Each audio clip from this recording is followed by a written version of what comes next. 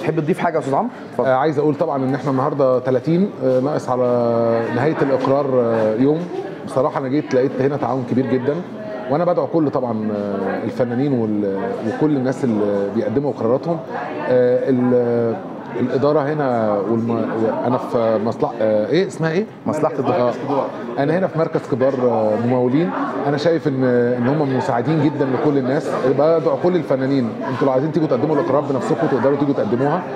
في مساعدة كبيرة جدا وبي وبتشوفوا الخطوات الصحيحة جدا اللي أنتوا تق- تقدروا تقدموا بيها إقراركم وأنتوا في بيتكم. بشكركم وبدعو كل المصريين إن هم يقدموا إقراراتهم في ميعادهم و لأنه مهم جدا للاقتصاد ومهم جدا لمصر إن كل واحد يقدم ال- الضريبة اللي عليه ويقر بيها. و...